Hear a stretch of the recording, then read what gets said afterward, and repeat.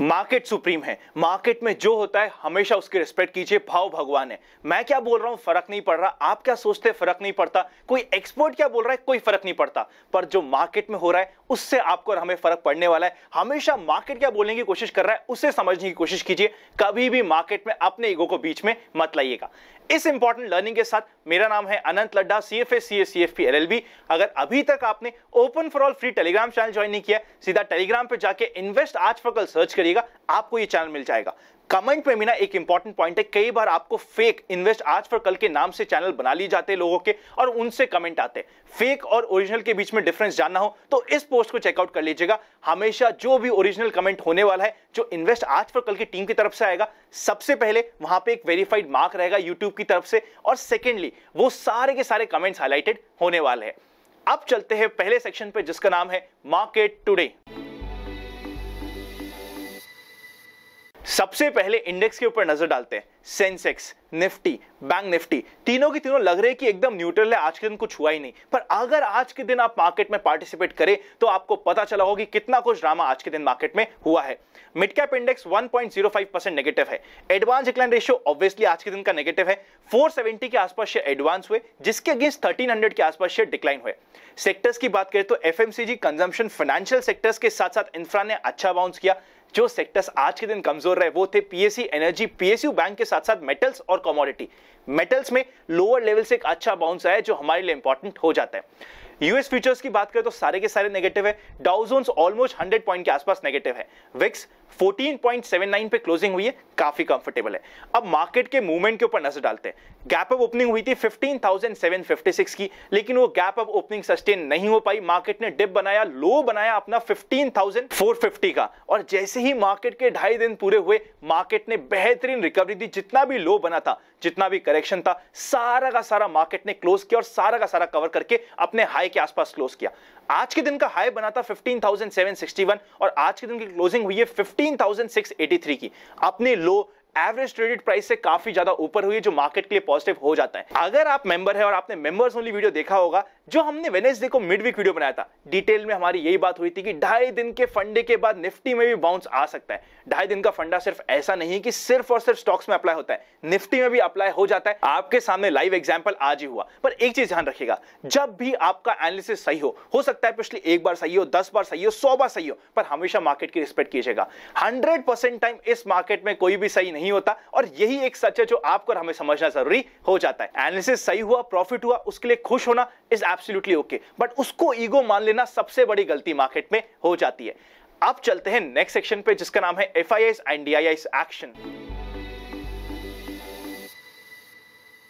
F और DIS ने किया काम साथ में। काम किया वो जो आपको और हमें बहुत ही पसंद। और सबसे मज़ेदार बात यह है एफ़ की तरफ़ से यूजुअली परचेस वीकली एक्सपायरी के दिन आती है। पहली बार ऐसा हुआ है कि वीकली एक्सपायरी के अगले दिन भी एक हैवी अमाउंट की परचेस हमें मिल रही है। 2600 करोड़ के ऊपर की परचेस एफ़ ने करी है। 450 करोड़ के आसपास की परचेस डी ने करी है। एक अच्छे अमाउंट की परचेस हुई है जो मार्केट के लिए काफ़ी पॉजिटिव हो जाता है। अब चलते हैं नेक्स्ट सेक्शन पे जिसका नाम है व्यूअर्स क्वेरी व्यूअर्स क्वेरी के सेक्शन में सबसे पहले आईपीओ की अपडेट ले लेते हैं। डूडला डेरी आईपीओ की बात करें तो आप इधर चेकआउट कर सकते हैं। क्यूआईबी 84 टाइम्स से ज़्यादा ओवर सब्सक्राइब हुआ है। काफ़ी अच्छा सब्सक्रिप्शन आया इवन एचएनआई कैटेगरी भी 73 टाइम्स के आसपास ओवर सब्सक्राइब हुई हेल्दी सब्सक्रिप्शन है। Retail category 11.34 times over subscribe हुई है। ऑलमोस्ट हर एक नौ से 10 एप्लीकेशन में एक अलॉटमेंट हमें यहाँ पे मिलने वाला है। लिस्टिंग इन की इस आईपीओ में जैसे कि हमारी पहली भी बात हुई, अच्छी एक्सपेक्टेशंस बनी हुई है। सेकंड बात करते हैं कंपैरेटिवली थोड़े से पुअर आईपीओ की, जिसका नाम है किम्स आईपीओ आप इधर चेकआउट कर सकते हैं क्यूआईबी सिर्फ़ फाइव टाइम्स ओवर सब्सक्राइब हुआ है। एनआईआई कैटेगरी में जैसे कि हमारे कल की वीडियो में भी बात हुई थी कि यहाँ पे एच की तरफ़ से सब्सक्रिप्शन आने में दिक्कत आ सकती है, क्योंकि यहाँ पे फंडिंग में दिक्कत है, और वैसा ही कुछ हुआ। एनआईआई कैटेगरी सिर्फ़ 1.89 टाइम्स ओवर सब्सक्राइब हुआ रिटेल कैटेगरी 2.90 टाइम्स सब्सक्राइब हुआ। इस आईपीओ में हर दो एप्लीकेशन पे एक अलॉटमेंट मिलने के चांसेस बढ़ चुके हैं। अब फाइनली हम एक पॉइंट कवर करने वाले हैं अनुज जी की तरफ़ से। ये कोई क्वेश्चन नहीं है बट बड़ी ही इंटरेस्टिंग बात है, आप इसे चेकआउट कीजिएगा। वैसे तो आप और हम मार्केट में डिप का वेट करते हैं बट जब मार्केट एक्चुअली डिप देता है ट्वेंटी डे मूविंग एवरेज पे जाके सपोर्ट लेता है, उस समय हमारी हिम्मत नहीं होती है मार्केट में बाय करने की। जब भी हम इस प्रोसेस को ठीक कर पाएँगे, हमारी सक्सेस की जर्नी शुरू हो जाएगी। अब चलते हैं नेक्स्ट सेक्शन पे, जिसका नाम है stocks in focus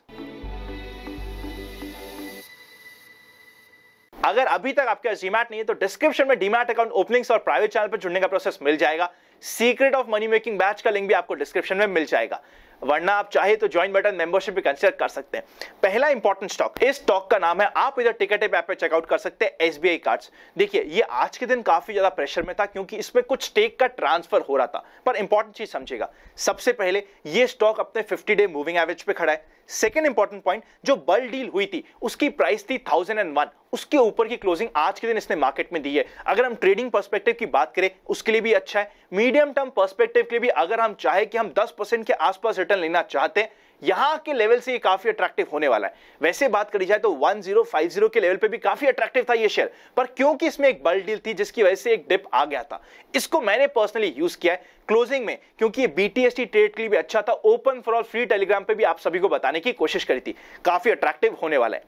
next important share ये अगेन एक मीडियम टर्म शेयर है। एक ऐसा शेयर है जिसको अंडर एस्टिमेट मत कीजिएगा। यूजुअली क्या हो रहा है, ये हायर लेवल पे स्पेशली 720 के ऊपर बार बार रिजेक्शन फेस कर रहा है। पर इस बार अगर ऊपर गया तो अच्छे मोमेंटम के साथ जा सकता है। नाम होने वाला है H D F C life आप इधर चेकआउट कर सकते हैं। मिनिमम टेन परसेंट के रिटर्न की यहाँ पे भी मेरी एक्सपेक्टेशन होने वाली है। इसका मतलब ये नहीं कि मंडे को मार्केट ओपन होगा, सीधा ये शेयर दस परसेंट बढ़ जाएगा। टाइम तो हमें देना ही पड़ेगा। अब चलते हैं नेक्स्ट सेक्शन पे जिसका नाम है general market trend number of volume distribution days का काउंट अभी भी थ्री है। General market trend up trend में है। अब चलते हैं फाइनल सेक्शन पे, जिसका नाम है एक्सपेक्टेशंस फ्रॉम टुमारोज मार्केट सबसे पहले कॉल का आइसोपर इंटरेस्ट 16,000, सेकंड आइसोपर इंटरेस्ट 15,800 और थर्ड आइसोपर इंटरेस्ट 16,500 पे जो रेजिस्टेंस होगा वो रफली 15,800 पे तो मेजर है ही सही। उसी के साथ साथ कभी भी ये 15,800 को क्रॉस करे इस बार तो अंडर एस्टिमेट मत कीजिएगा। सपोर्ट की बात करें तो पुट का high super interest 15,000 second high super interest 15,500 और थर्ड हाई सुपर इंटरेस्ट 14,500 पे इंपॉर्टेंट सपोर्ट 15,450 से 500 की रेंज होने वाला है। बैंक निफ्टी की बात करें तो बैंक निफ्टी ने एक अच्छे सपोर्ट जोन से बाउंस किया है। कभी भी 35,000 के लेवल को क्रॉस करके ऊपर जाए। देखिए वैसे तो 34,500 का लेवल था इंपॉर्टेंट उसको क्रॉस करके भी ऊपर सस्टेन करे तो अच्छा हो जाता है। 35,000 को क्रॉस करके ऊपर जाए तो काफ़ी अच्छे मोमेंटम में बैंक निफ्टी भी ऊपर जा सकता है। अगर पुट कॉल रेशियो की बात करें तो 1.10 के आसपास है काफ़ी कंफर्टेबल है। अब मार्केट की बात करते हैं। देखिए अगर हम ये समझे कि 15,450 का लेवल हमें बार बार रिटेस्ट हो जाएगा ऐसा नहीं होगा। जो हमें आज अपॉर्चुनिटी मिली थी वो मंडे को वापस मिल जाएगी ऐसा नहीं होगा। मंडे को मार्केट अच्छे रहने की पूरी पूरी एक्सपेक्टेशन है। अब मार्केट अपना धीरे धीरे ऊपर नीचे होते हुए ऊपर की जर्नी पूरी कर सकता है। मंडे को अच्छा मार्केट रहने की पूरी पूरी एक्सपेक्टेशन होने वाली है। जर्क क्या मंडे को आएगा? मंडे को आए या ना आए कोई फ़र्क नहीं पड़ता। जो जर्क आना था वो अभी ऑलरेडी आ चुका है। ऐसा नहीं होगा कि हर एक मंडे को हमें जर्क मिले। उसी के साथ साथ, क्योंकि आप सभी ने रिक्वेस्ट किया था, जो नीलेश शाह सर के साथ सेशन हुआ था लाइव सेशन आप में से काफ़ी लोग अटेंड नहीं कर पाए थे क्योंकि सीट्स लिमिटेड थी। उसका पूरा का पूरा सेशन कल के दिन आठ बजे आप ही के चैनल इन्वेस्ट आज पर कल पे अपडेट होने वाला है। One of the most interesting interview है। बहुत ही ज़्यादा हमने डिटेल में डिस्कशन किया है। क्रिप्टो करेंसी पे ऑलमोस्ट पंद्रह मिनट तक डिटेल में जाकर डिस्कशन किया है। पॉजिटिव का भी डिस्कशन किया है। नेगेटिव का भी डिस्कशन किया किस तरीके से यूज़ करना है, उसका भी डिस्कशन किया है। तो उस वीडियो को देखना मत भूलिएगा। Happy investing and I will see you very soon